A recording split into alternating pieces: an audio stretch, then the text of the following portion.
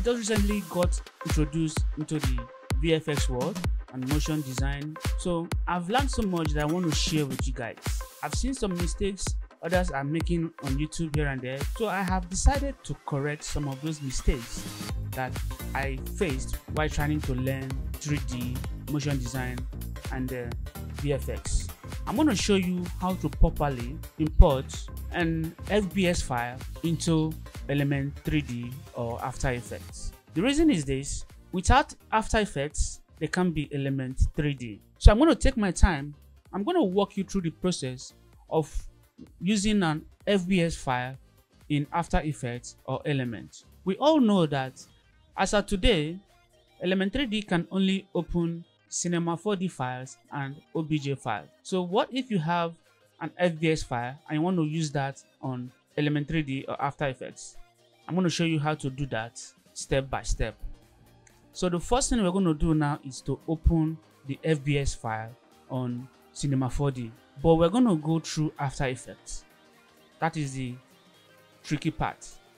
So I'm on After Effects 2024. So I'm going to go to File, New, and I'll click on Maxon Cinema 4D file. What I will do here is for me to save my Cinema 4D file. So I'm going to choose a name for the file. So let me choose something random. I can say World I'm going to save it on my desktop. So I hit save. And if you look at After Effects, this is the file I just saved and it's already in Cinema 4D format. So what's going to happen next is this.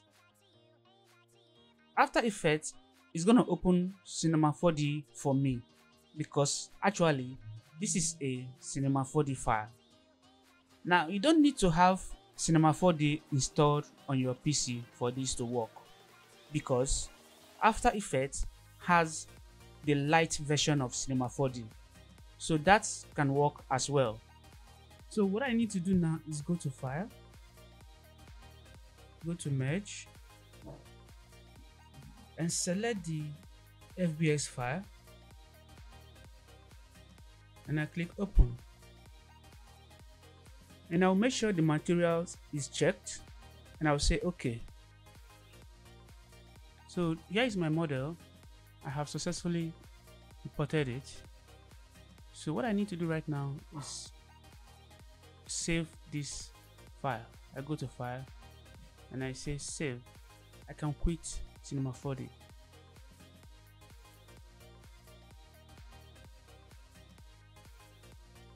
So I create a new composition.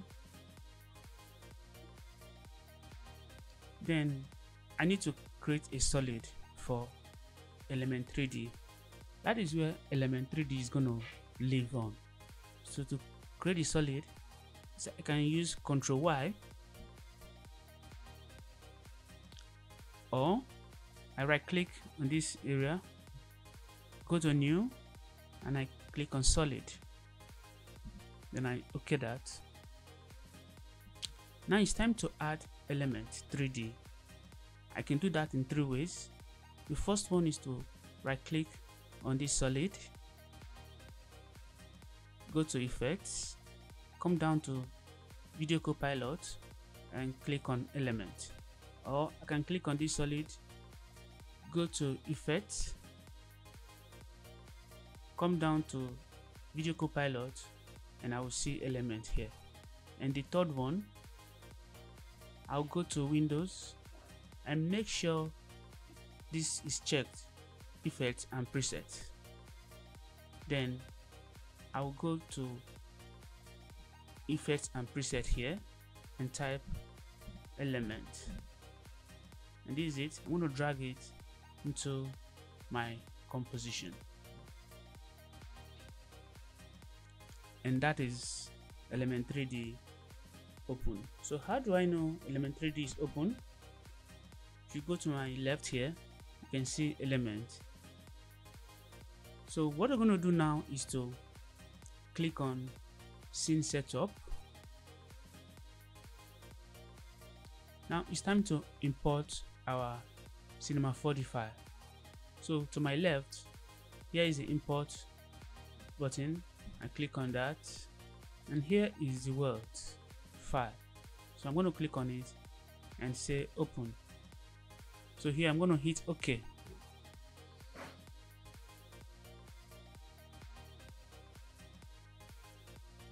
Now you can see that my interface is black and that is because i'm using intel graphics. So to make it bright this is what i need to do. To my right i click on reflect mode click on disable environment and as you can see here is my model. You can also play with the light.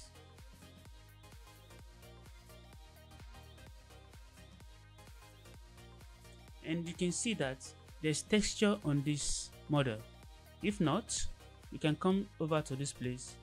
On this drop down look at the body. This is its texture. Interior that's its texture. This pilot a different texture and display a different texture. If these textures were absent then I need to texture them myself. So that's all we need to do here in element 3d so the next thing is I go over to my right and I say okay. So I'm back in After Effects.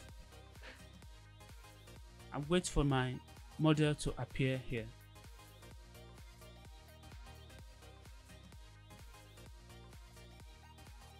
Let's wait for a while.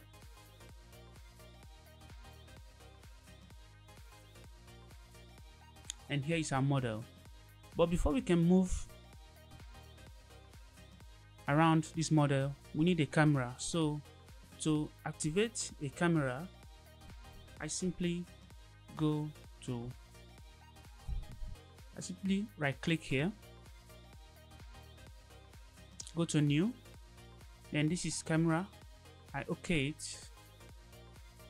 And here I can give it any name I want. Then choose 50 mm which is closer to human eye. Then here I need to choose two node camera. And that's all. I say okay. And I go up to this place. I drop this a bit down. I choose the middle one. So with that I can be able to move the model around. I can be able to move the model around.